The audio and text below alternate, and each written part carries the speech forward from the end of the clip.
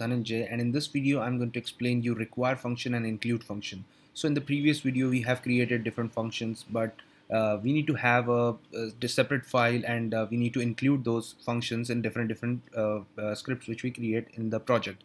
So in order to do that we need to create a new file. So in that case I'll just create a new file and name it as uh, let's say func okay and this resides into my same folder which I have in the uh, function.php let's say right now. So this was the previous function uh, previous video I have created of all the functions.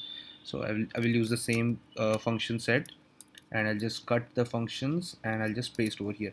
So in that case in, in, in your case you can create your own um, set of functions or classes or anything you want or a set of configurations which you want to include into your main file so this will be very handy and very useful for uh, type of uh, include and require uh, statements for the entire project which you do. So right now just save this function uh, save this particular file and here I'm going to just write require and in the double quotes I will mention the file name. So I have the func.php file and if I just save and refresh the page I should get the same result. Perfect.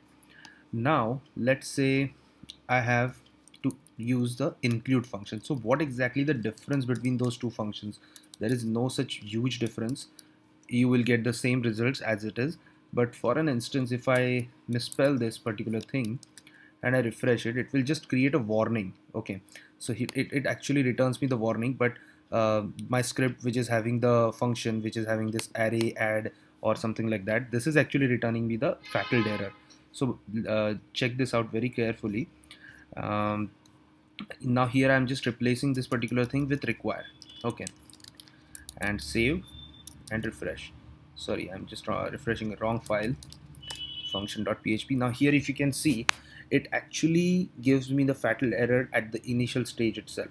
It doesn't uh, continue the script and uh, you know entirely stops the script from uh, processing further so this is uh, good for some situations. This is uh, even include statement is even good for some situations but that actually debatable because the project requirements should be uh, specific and this particular thing is always going to be uh, variable you know.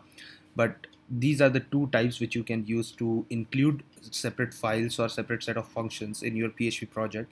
And this will make your entire PHP project very organized or uh, very structured so this that's it for this video. And if you like this video please like and share.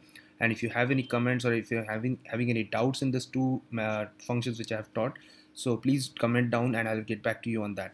And please press the bell icon. I will uh, keep posting new videos on PHP 7 and uh, other other technical uh, topics. And uh, thank you for your support and bye bye